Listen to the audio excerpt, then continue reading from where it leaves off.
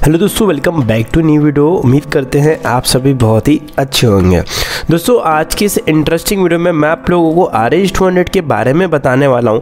Plus R H आपको all colour option भी दिखाने वाला हूँ कि आर एच में आपको क्या क्या कलर ऑप्शन देखने को मिलते हैं। इसके बारे में भी कंप्लीट आपको मैं बताने वाला हूँ।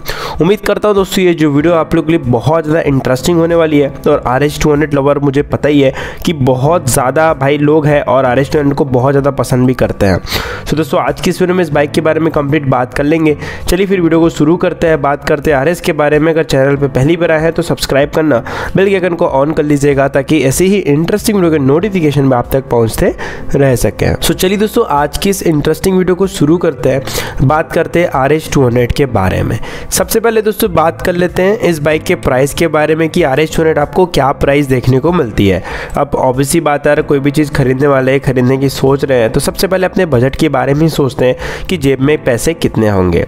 देखिए, आपको मैं बताना चाहूँगा दोस्तों, जो आर एच टू हंड्रेड है, वो आप लोगों को एक्स रूम प्राइस अराउंड लगभग one lakh seventy eight thousand एक लाख अठहत्तर हज़ार रुपये के आसपास की जो है एक्स रूम प्राइस देखने को मिलती है। भाई, दोस्तों R S unit ex room price around one lakh seventy thousand एक लाख सत्तर हज़ार रुपये के आसपास की आपको ये बाइक ऑन रोड प्राइस देखने को मिल जाती है।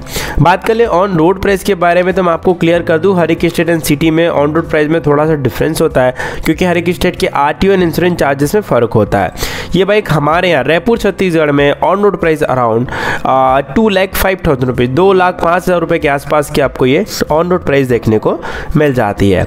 बात कर इसके कलर ऑप्शन के बारे में। दोस्तों आर एच में आपको number of three colour option देखने को मिलते हैं। एक आपको बाइक में व्हाइट कलर देखने को मिलता है, जो कि काफ़ी ज़्यादा अच्छा लगता है।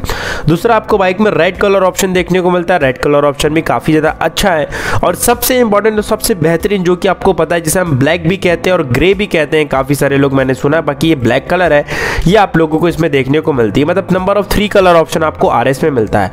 अब इसमें कौन सा कलर ऑप्शन आपको सबसे ज़्यादा अच्छा लगता है, आप कमेंट करके ज़रूर बताइएगा। मेरे हिसाब से ग्रे कलर ऑप्शन जो है वो बेस्ट है। चलिए, बात कर लेते हैं अब इस बाइक की लाइटिंग्स के बारे में। फ्रंट में दोस्तों बाइक में आप देख पा रहे कि बाइक में आपको सबसे पहले एलईडी जो डीआरएल लाइट है, वो हमें इस बाइक में देखने को मिलती है, जो कि काफ़ी ज़्यादा अच्छी लगती है और बाइक का लुक भी बढ़ाती है। मेन लाइट में बाइक में आपको दोस्तों डुअल हेलोजन प्रोजेक्टर लाइट जो है वो आपको देखने को मिल जाएगा। अब ऑब्वियसली बात है दोस्तों, बाइक में आपको हेलोजन प्रोजेक्टर लाइट है तो लाइट की जो इल्यूमिनेशन है, वो भी आपको काफ़ी बेहतरीन मिलेगी। आपको कोई एक्स्ट्रा फॉग लाइट लगाने की जो नीड है, बाइक में नहीं है। बिल्कुल भी ज़रूरत नहीं पड़ेगी आपको कोई भी एक्स्ट्रा फॉग लाइट लगाने की। तो ये भी आपको बाइक में काफ़ी अच्छी चीज़ मिल रही है। बात कर ले दोस्तों, इस बाइक के फ्रंट सस्पेंशन के बारे में। तो फ़िलहाल अभी तक बाइक में आपको टेलीस्कोपिक सस्पेंशन देखने को मिला है। बट मुझे उम्मीद है कि आने वाले समय में कंपनी जो है इसे अपडेट करके यू यानी कि अपसाइड डाउन जो सस्पेंशन है, वो आपको बाइक में देने वाली है।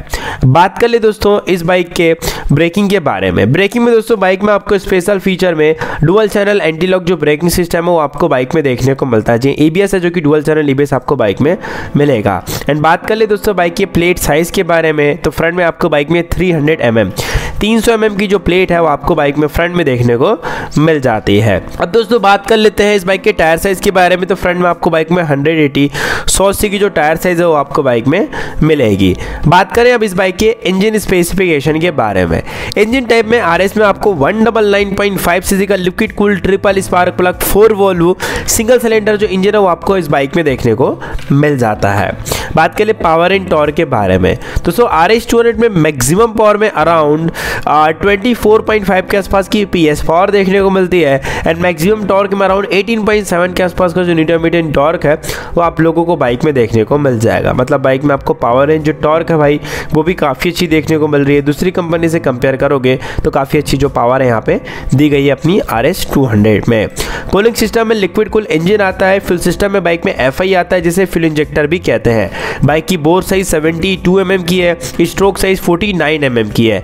ठीक है वॉल्वो सिस्टम एस से इंजन मिलता है। बाइक में आपको छह गियर देखने को मिलेंगे एंड बाइक में आपको नॉर्मल वेट मल्टीप्लेट जो क्लच है, वो हमें आर एच में देखने को मिलेगा। बात कर लेते हैं इस बाइक के माइलेज प्लस परफॉर्मेंस के बारे में।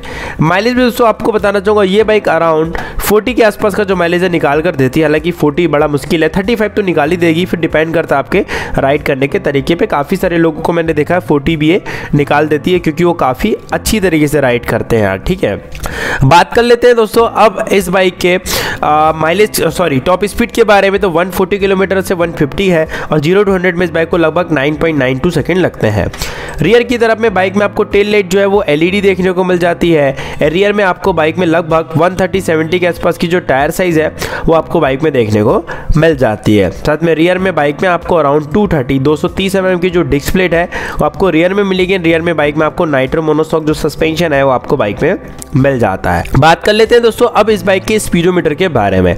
आर एस स्पीडोमीटर में आपको एनालॉग वीट डिजिटल मीटर जो है बाइक में देखने को मिल जाता है, जिसमें आपको फीचर जो है, वो काफ़ी सारे मिलेंगे। Like speedometer tachometer trip meter odometer cooling temperature clock ABS light fuel gauge low fuel warning light service reminder, low oil indicator, low battery indicator, engine check indicator, rev limiter indicator, fuel reserve indicator, ऐसे जो feature आपको bike पे देखने को मिलेंगे। And आपको बताना चाहूँगा, आने वाले समय में कंपनी इसमें जो गियर इंडिकेटर है, वो भी ऐड करने वाली है। आर एस की सीट हाइट है अराउंड 810 mm की व्हील बेस है 1345 mm का कर वेट है वन डबल सिक्स के जी का फ्यूल टैंक कैपेसिटी लगभग 13 लीटर के आसपास की आपको बाइक में मिल जाती है। बाकी दोस्तों, आप लोगों को आर एस कैसी लगती है, नीचे कमेंट सेक्शन में कमेंट करके ज़रूर बताइएगा। उम्मीद करते हैं आपको छोटी सी इंटरेस्टिंग वीडियो दोस्तों, अच्छी लगी होगी। वीडियो अच्छी लगी लाइक करिएगा चैनल पर पहली बार है तो सब्सक्राइब करिएगा। मिलते हैं फिर नेक्स्ट वीडियो में। Love you all Jai Hind मंदे मातरम।